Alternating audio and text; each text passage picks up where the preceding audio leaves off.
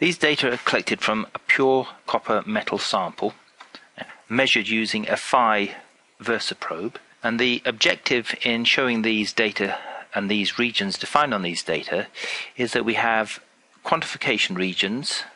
measuring the peak area above background over a range of kinetic energies and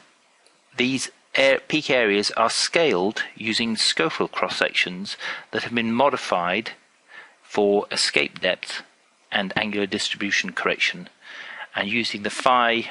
transmission function to further characterize these intensities it's possible using Scofield cross sections to come up with a set of percent scaled areas for each one of these peaks that returns the same amount of for each peak so irrespective of the peak that you select quantification based on any of these peaks. Now, having said that, you would choose peaks with the best cross sections so you get the best signal to noise, subject to interference. But nevertheless, this demonstrates that, that in principle, Scofield cross sections can be used to quantify copper on a VersaProbe.